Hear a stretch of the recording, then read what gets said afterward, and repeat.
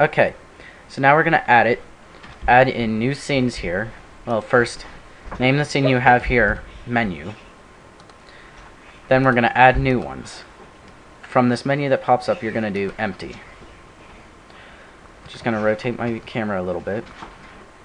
Now, you're going to press space, add, camera.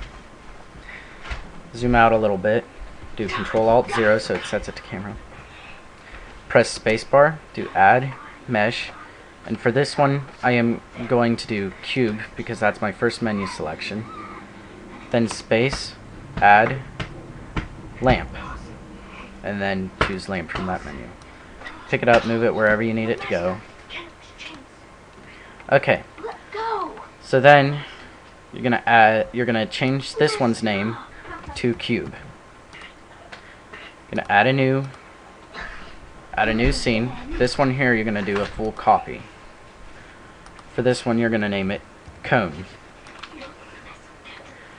Okay.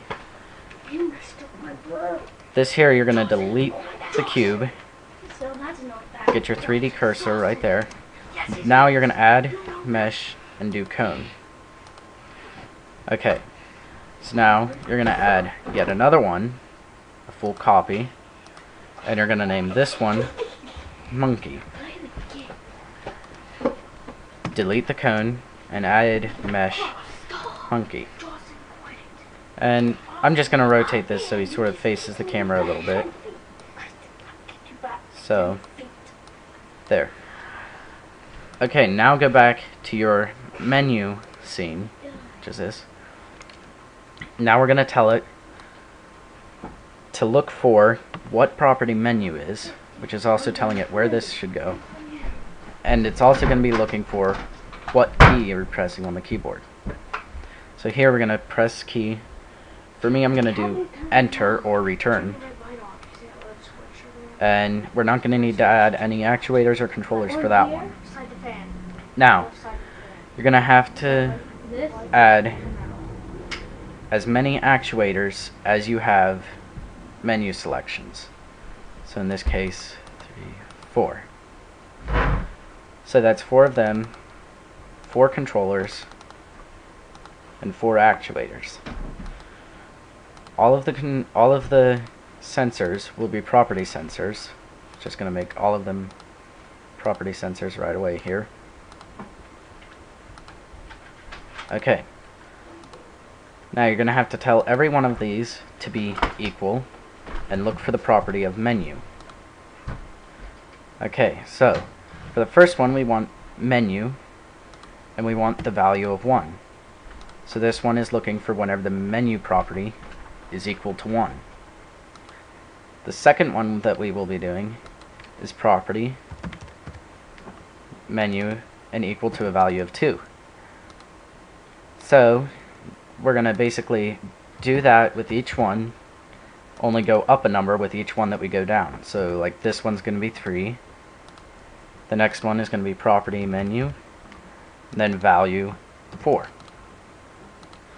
So basically now all of these is telling the cone here what position it is in based on the menu property. Um, so then now we're going to add in, now we're going to wire all of these over. Now all of those are connected. These controllers right now are set at AND, and we're going to keep it like that, but there's also OR and so on and so on. But the AND controller looks for both of these actuators to be true at the same time. Up here is our keyboard with return.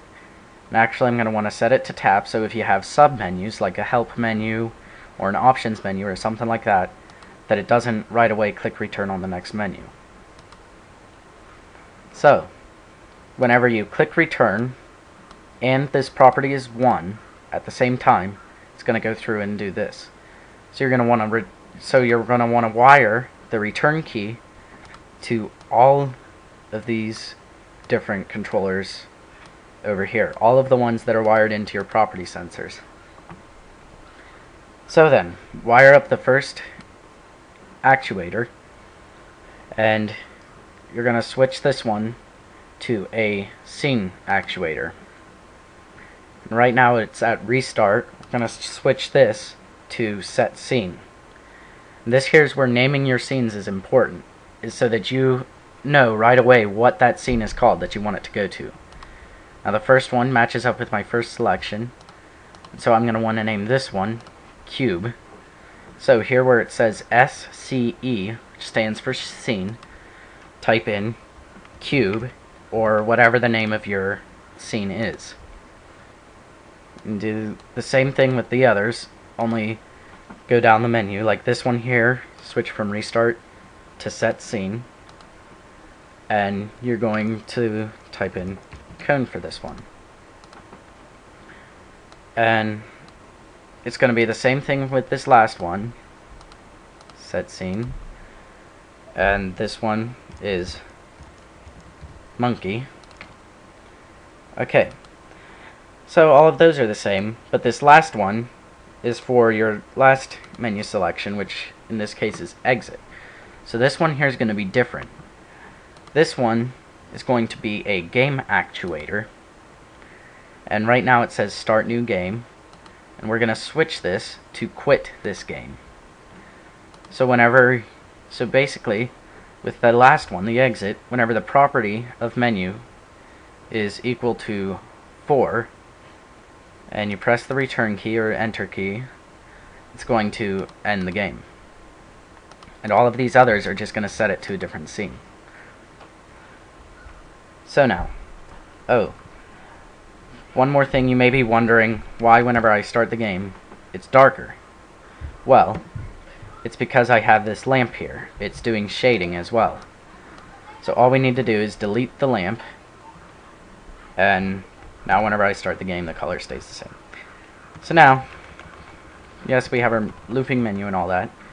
So now whenever I press enter or return, it switches to the scene.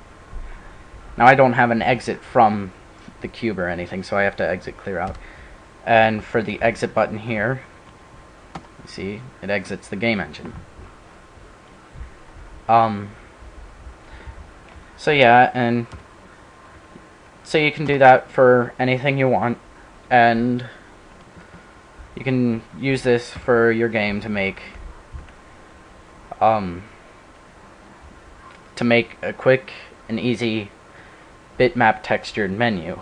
So this here will work by itself and um, in the next tutorial I will be showing you how to use background music for your menu.